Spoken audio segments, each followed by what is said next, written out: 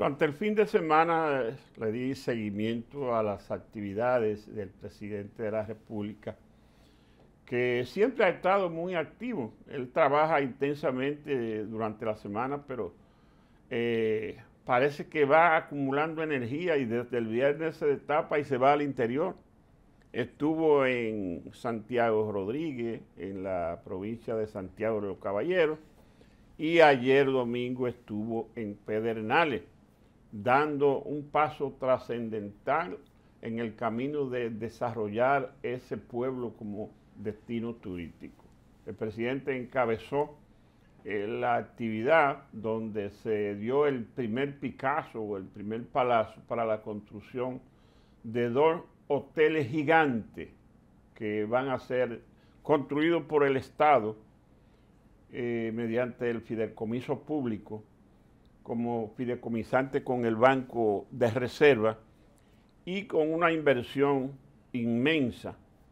Y ambos hoteles tendrán unas 1.200 habitaciones, o sea que van a tener eh, unas 500 y tantas eh, habitaciones cada uno y serán administrados por dos compañías eh, internacionales de reconocidas y reputadas eh, gerencia, como son el Jaya y el Iberoestar. El presidente dio un discurso muy entusiasta, como siempre lo ha hecho, exhortando a los habitantes del sur a que hagan suyo el compromiso que tiene el Estado de desarrollar Pedernales. Y hizo el recuento de que Pedernales ya no solamente se está trabajando en lo que es el desarrollo del muelle de puerto de crucero que va a ser inaugurado este año en diciembre y que ya tiene una ruta de ocho cruceros van a operar entre los meses de, de diciembre y enero. Diciembre del 2023 y enero del 2024. Ocho cruceros es mucho para una cosa que todavía no está hecha pero que probablemente sea una realidad tangible.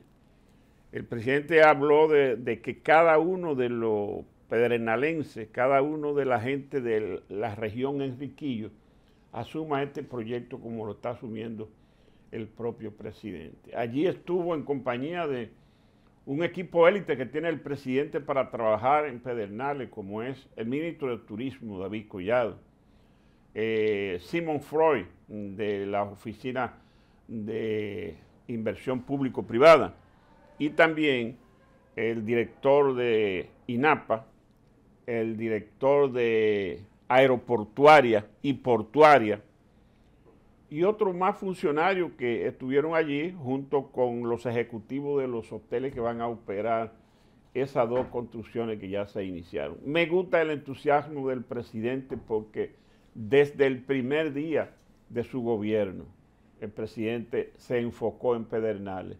Y esa fue la primera salida que él hizo al interior del país, fue con su familia, se fue a Pedernales como diciendo, esto es lo mío, este va a ser mi gran obra. Qué bueno. Mire, don Freddy, yo no tengo claro cuál es la inversión privada ahí. ¿La va a hacer el Banco de Reserva? Es pública. Eh, la base del Banco de Reserva y luego se va a buscar una persona para que lo administre. Yo no sé cuál es la cuál es la inversión privada que se está haciendo ahí. Eso es por un lado.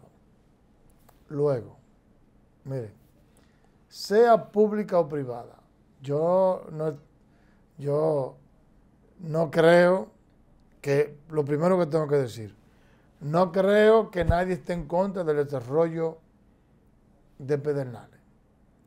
No creo que los políticos estén apostando al fracaso de Pedernales por el simple hecho de hacer oposición. Simple y sencillamente, como el presidente tiene tantas personas que lo elogien, tiene que tener también que lo critiquen. Porque hay veces que el poder y el exceso de elogios hace que la mente sea un nobile. Yo me pregunto, ¿pero cuál, cuál es la alianza público-privada? el Estado lo invierte todo y después busca a dos, empresas para que lo administre. Después que el Banco de la Reserva lo invierte todo. Eso es por otro lado. Por otro lado, Y para mí lo más importante. No importa que sea el gobierno o que sea el sector empresarial el que haga la inversión. Es si ese, si esa, ese proyecto tiene la posibilidad de, de triunfar. Porque yo no sé, don Freddy, si usted ha ido a Pedernales. Sí, sí, muchas veces. Bueno, pues, usted sabe que la luz en Pedernales parece una velita que, que prendieron. Es una velita. Y entonces, a mí no me han hablado de la inversión en, en, en sistema eléctrico para que haya la energía que se amerita para que soporte eh, eh, eh, los voltios, los, kilovatios, los megavatios que necesita para que esa infra- infraestructura esté bien. Yo no he, vi- he visto que me han dicho, vamos avanzadísimo en el acueducto que necesita Pedernales, Sí, en eso está trabajando. la carretera que necesita Pedernales, el aeropuerto que necesita Pedernales y todos los servicios públicos en Pedernales son deficientes. Sí, sí, Entonces, sí. yo le voy a decir una cosa. ¿A qué es que no Estoy está- con usted en eso, ¿A plenamente. que nos estamos buscando? A que de aquí a un año o dos se terminan esos hoteles. Que estamos hablando de una gente que va a venir a firmar un contrato. El- El 50% de lo que yo me gane es mío, pues yo no he invertido en Chile. No me he arriesgado en nada. Se está arriesgando los recursos del Banco de Reserva, que aunque se maneja como el sector privado, es público. O sea, mi cuarto. Entonces, ¿qué pasa? No se están haciendo las inversiones que debieron de iniciarse uno o dos años antes de dar un Picasso con, con los hoteles. Dentro de dos años se abre el hotel y la gente cuando llegue no se va a poder bañar porque la, la luz, la energía que nos da, no da para calentar el calentador. Y, se, y, la, y el agua, no hay agua en la, en la, en la cisterna. La comida es mala porque no hay, no hay autopista para traer la, la cantidad de, de inventario que se necesita. No hay una infraestructura que sustente que esos hoteles dentro de dos años van a soportar 4 mil, 5 mil turistas y se les da un servicio de calidad. ¿Cuál va a ser el resultado? Que van a ir, la van a pasar mal, no van a volver nunca y además van a criticar, por supuesto. Es decir, no vayan a Pedernales. Ahora, Mundo, eh, yo creo que usted no ha entendido bien el caso. Porque recuerde que lo de Pedernales, quien le ha dado el impulso es este gobierno, Luis Abinader. Sí, sí. Pero ese es un plan que viene de lejos. Sí. Recuerde que Danilo Medina y Francisco Javier, cuando estaba en turismo, ellos presentaron el master plan de el plan de desarrollo de Pedernales en una fitura en España, el otro gobierno. Sí. Después que sanearon los títulos que habían sido falsificados y que estaban en manos de particulares, se hizo ese trabajo y se puso todo en orden legal. Luego se hizo el master plan que lo hizo una compañía extranjera. Y sobre ese master plan es que está trabajando el presidente Luis Abinader y ahí contempla el aeropuerto nuevo, porque hay un aeródromo en Cabo Rojo, pero que es Es una es un cosita. aeropuerto. Eh, el aeropuerto va en Oviedo. No, de, no Oviedo de Oviedo, no, Oviedo el pueblo. El, acueducto está avanzado. Me conta porque mm, se lo pregunté al senador Johnny Sánchez y me dijo que sí, que ciertamente están trabajando.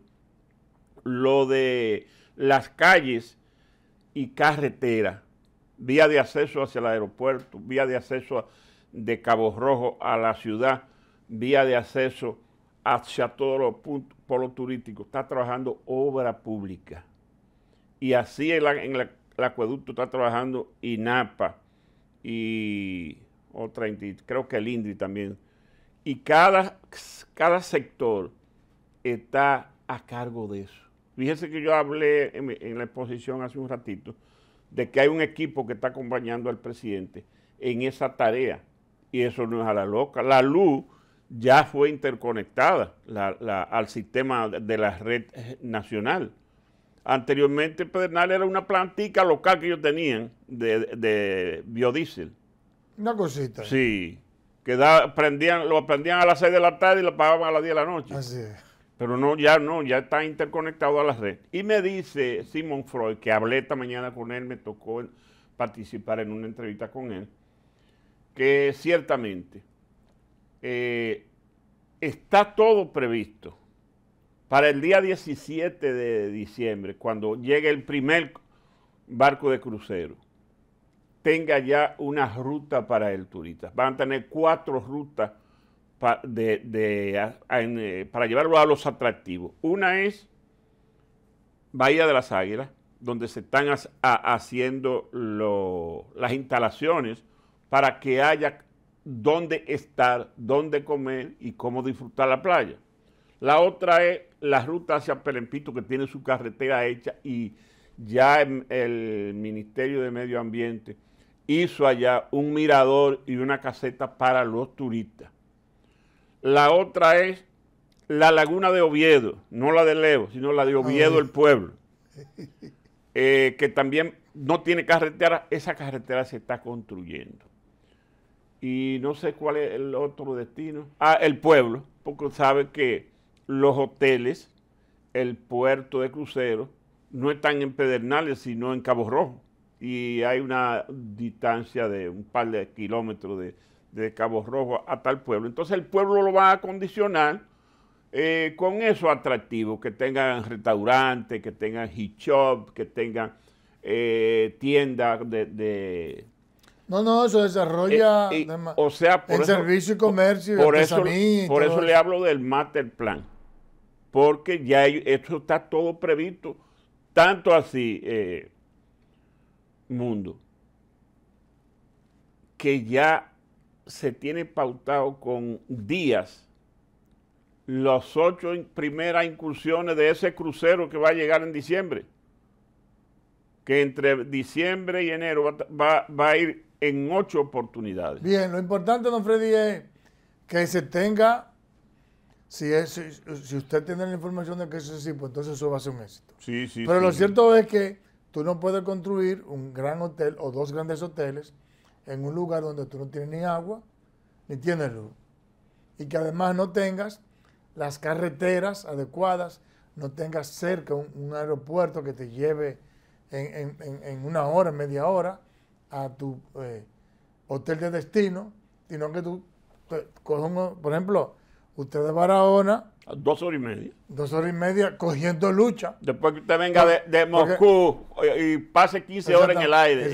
Entonces, estamos hablando no solamente de dos horas y media, sino que, que dos horas y media. Sí, sí. Bastante incómoda. O sea, porque ah, tú tienes que meterte por lugares que no caben guaguas grandes. Tienes que irte en una guaguita de chiquitica. O sea, hay que crear las condiciones para que el turista se sienta a gusto con deseo de yo, yo creo eh, eh, que ese entusiasmo que tiene el presidente con Pro Pedernales, que así se llama el proyecto, que es real y que él está haciendo el esfuerzo por arrancar ese proyecto ahora en diciembre, con la inauguración de la primera visita de un barco de crucero.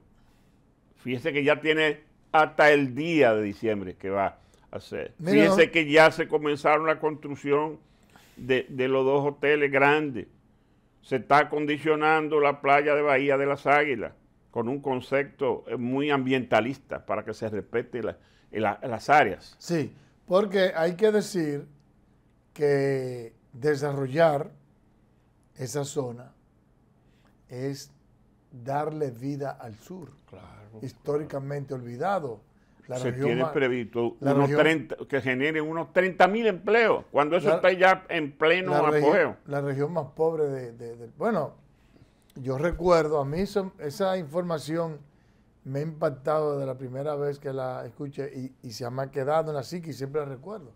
Yo recuerdo que Francisco Javier García dijo en una ocasión, con los primeros 400 millones de dólares que se van a invertir, se va el, se, desaparece el desempleo en un 100% de Pedernales, de Barahona, de Boruco y de Independencia. Sí, sí, Oye, sí. ¿tú sabes lo que es eso?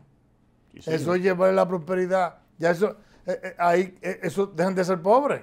Porque cuando ya todo el mundo está trabajando y todo el mundo tiene capacidad de compra, y además, usted sabe lo que implica eso.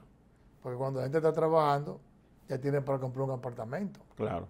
Ya tiene para vestir, para vestir. No, ya, no, no. Ya yo- tiene para ir a la discoteca. yo- yo ya tiene para invitar a la novia. Ya tiene para ir al cine. Entonces, todo, todo ese tipo de negocio se va desarrollando en la Yo, yo creo en ese proyecto, eh, Mundo, independientemente de, de- del interés que está poniendo el presidente, yo creo en ese proyecto porque estoy viendo realidades. Fíjense que yo, de mi pueblo, Puerto Plata, no le estoy mencionando a la carretera de, del Ámbar, que se ha quedado patinando en el mismo sitio. No. Y eso el presidente lo prometió y estuvo por allá, pero yo en eso ni lo menciono. Porque mire por dónde va el gobierno y ahí no se ha hecho nada. No, ni se va a hacer. Sí. Porque Entonces él yo, prometió que iba, iba a ser con yo no, no, to- no estoy muy entusiasmado con el asunto de Punta Bergantín. Eh, todavía lo veo como una quimera, pero yo con lo de Pedernales me identifico y creo que se está haciendo lo correcto. Bueno, también hoy entrevistamos en Diálogo Urgente a, ahora no, Alain, ahora no recuerdo el nombre, un señor que es representante de Miches, del Ceibo, Ujú. la asociación de... de- Ese, ese proyecto está adelantado. ese también está bien Ya, interesante. ya ahí, ahí hay operando tres hoteles inmensos. Y, el y el, el acceso a la playa de Esmeralda ya está hecho, que usted llega con facilidad. Y las inversiones que hay ahí futuras son, son interesantes. Así es. ¿Qué Ah, decía bueno, el señor? Yamil Isaías, economista, presidente de la Asociación de Hoteles y Turismo del Ceibo y Miches, Promiches. Oh. Bueno, sí que ellos eh, de por sí son una asociación, él dice somos de la, eh, de la misma generación, que estudiamos juntos, él es economista, es también inversionista de valores, de fondos de, de fondos Ya, de bolsa valores, valores. bolsa de valores, y que ellos han venido de- desarrollando a Miches de manera ordenada, planificada, para que no ocurra, ocurran los problemas que se manifestaron en los otros polos, que fueron creciendo, pero de manera un tanto cada quien individual, un tanto sin, sin planificación, y hay dificultades que se han tenido que venir resolviendo eh, en el día a día, pero que ellos han venido de una manera planificada, ordenando ese proceso de desarrollo y que por tanto la- la- las potencialidades que hay en Miche, que tal y como te digo, ya hay hoteles que, que, se, han terminado y que se están eh, construyendo, le, le da una capacidad impresionante. Y él dice que como Miche es vecino de Punta Cana y Bávaro, pues entonces se le hace mucho más fácil potencializar la zona. Así es. Mira, tenemos que detenernos a ver los comerciales, pero ya regresamos. Tenemos un contenido interesantísimo que nos queda. No se nos vaya.